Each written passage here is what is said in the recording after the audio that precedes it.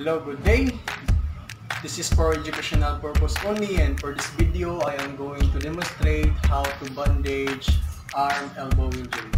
So okay, let's start. In the apex, you're going to make a knot.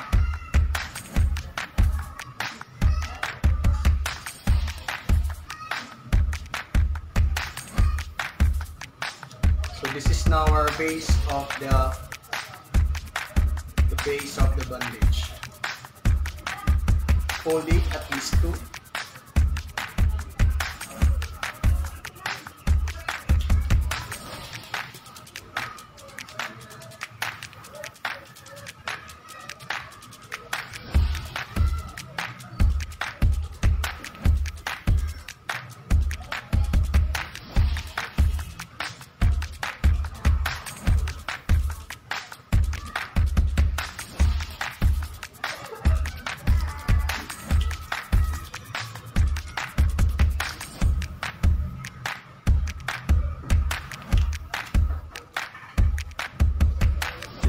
And then at the back shot and at the back side portion you are going to make a square square knot